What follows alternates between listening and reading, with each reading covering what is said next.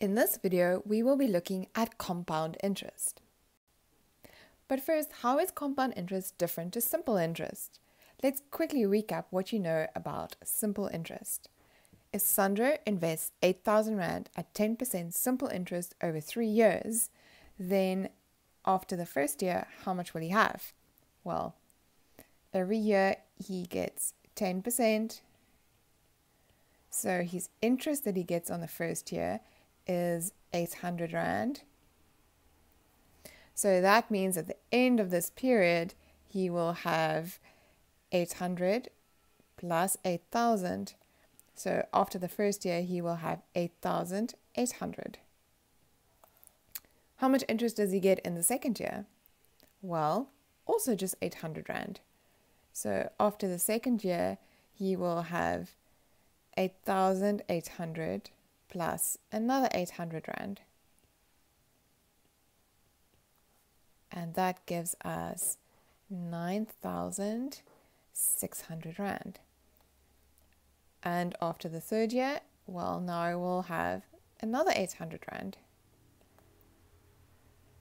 You might remember that we could also just say 800 times 3 and add it on, so we can also do that method now.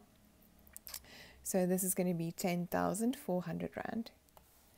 Um, so the short way of doing this is by saying 8,000 times 10% times 3 because he gets the same amount every year for 3 years and that gives me 2,400.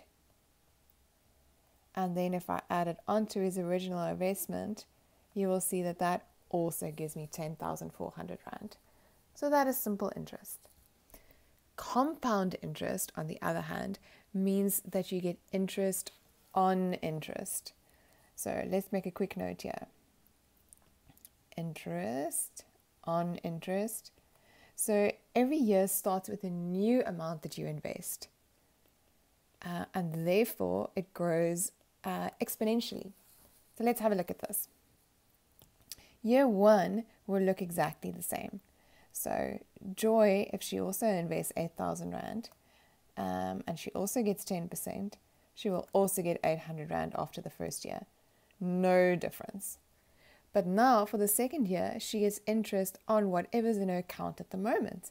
And we know that now she has 8,800 Rand in her account. So she gets 10% on this amount, which is not 800 Rand, it is 880 Rand. Okay, add that on to what she invested, she now has an amount of 9,680 Rand. And now she gets 10% on this amount. So her interest is now 968 Rand.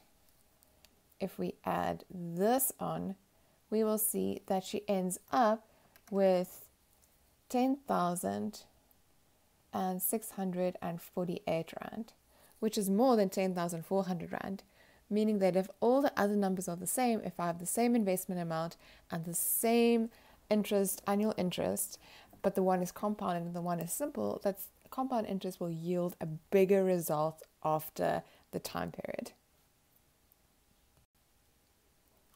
Let's look at another example and see if we can not perhaps write this a little bit shorter. So if Junior invests 13,000 Rand at 8% per annum over five years, okay, stop here for a moment. Do you still remember how to increase an amount with 8%? Do you remember that I add 8 onto 100? So if you quickly want to check what this is, let's make a little side note for ourselves.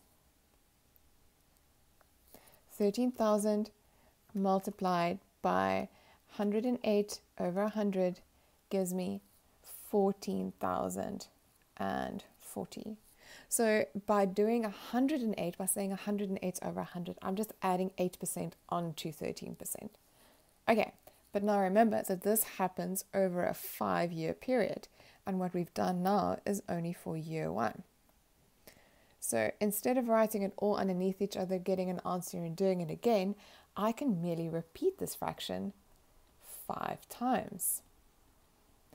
So my previous answer multiplied by 108, 8 over 100, will give me the answer for year 2. Doing that again on that answer that I just got, and you can press equal in between on your calculator if you are doing this, will give me the answer for year 3. Doing it another time, on my previous answer, because remember it's interest on interest, will give me the answer for year 4 and doing it one more time because Junior invests his money for five years will give me the final answer for year five. Typing this in on your calculator can be quite a lengthy process, but I'm hoping that by writing it in this way, it is a slightly shorter way of writing it at least. When you do all of this, you will get an answer of 19,101 and I'm going to write down all the decimals here just to remind you that you should always round off to two decimal places.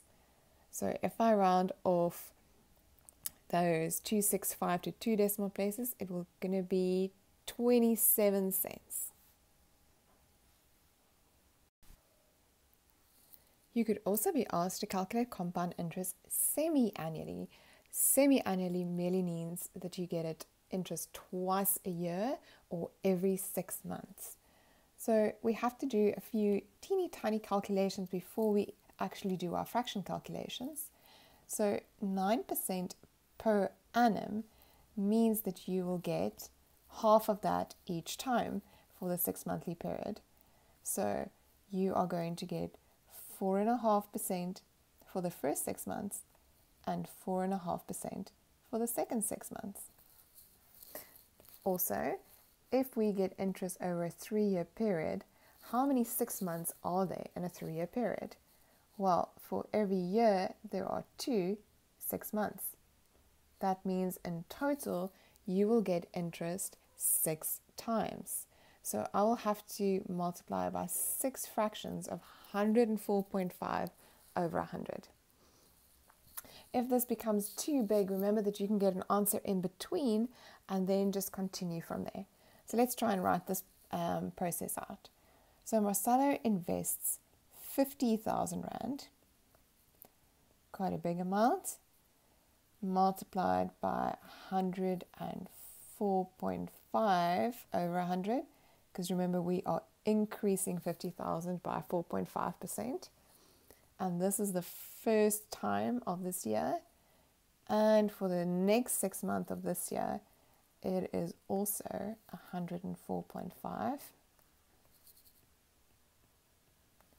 So now I've done it twice for the first year. Now let's do it for the next three years as well.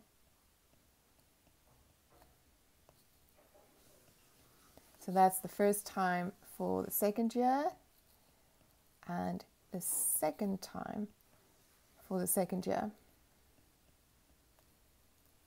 So twice for the second year. And we have to do it another two more times because it's twice in the last year as well.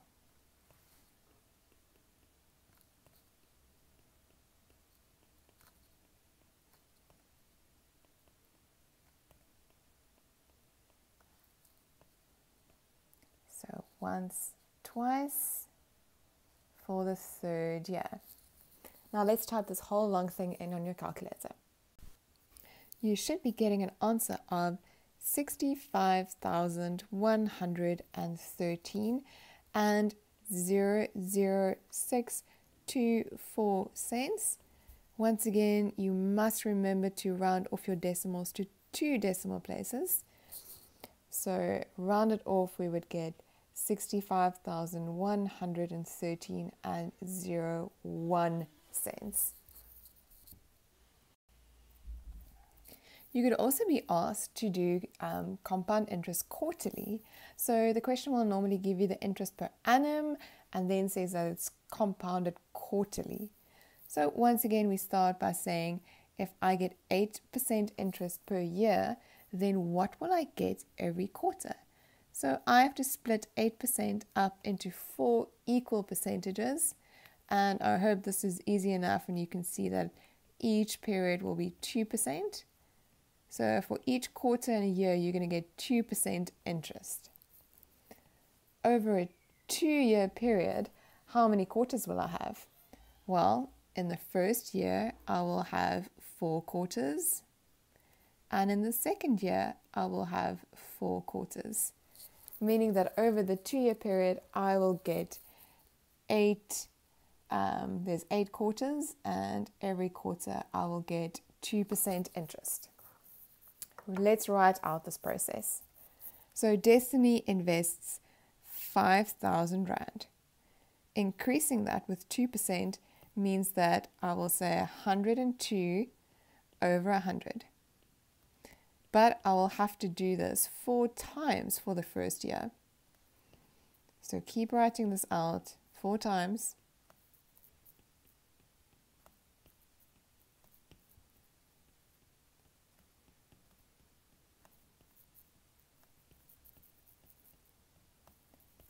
And then I like to indicate that this was for year one.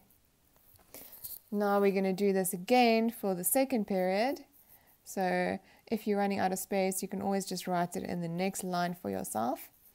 So multiplying by 102 over 100. And we're going to do this another four times.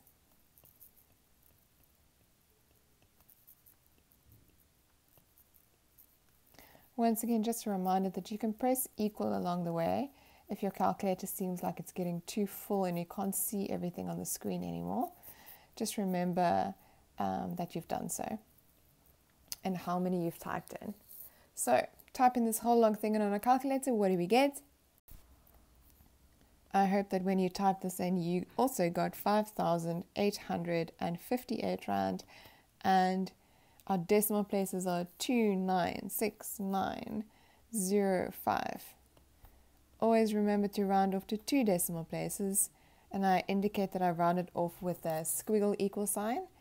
So that gives me 5,858 and 30 cents because the 6 after the 29 makes the 29 go up to 30. The last way that we could be asked to do um, compound interest is when they ask it monthly. So if we need to split 5, 6% interest per annum into 12 equal little payments, the quick way of doing this is just by saying 6% divided by 12 equal months, and that gives me an answer of 0.5% interest per month. And now the time period is one and a half years. So over one and a half years, how many months do I have? Well, in the first year, I have 12 months, and in half a year, I will have six months, meaning that altogether, I will get 18 months.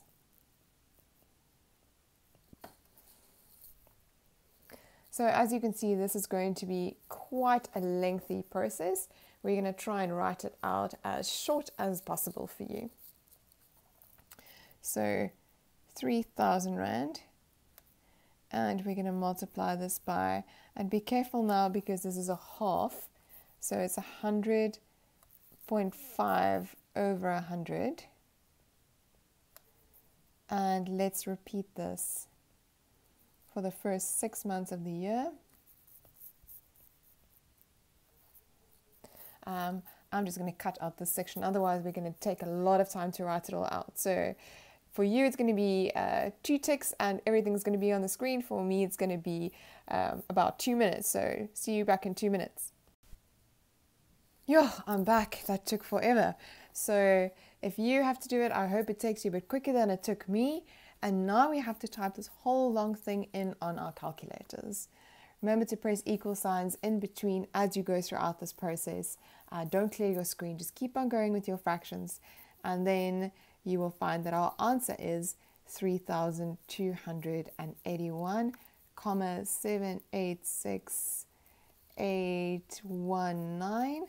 Once again, I need to round this off, so the 6 here is going to make the 78 79 cents. Now, for those of you that have changed recently to Mathlit, you might be familiar with the compound interest formula. You are welcome to use this when typing it on your calculator, but unfortunately, you cannot write this method down. So, for those of you that are familiar with it, I'm going to show you quickly how to do this. Um, but remember that it's not allowed to use this method in a test or an exam, but you're welcome to just check your answer by you doing it the short way. So here is the compound interest formula, and I'm going to use it with Tyrese's example.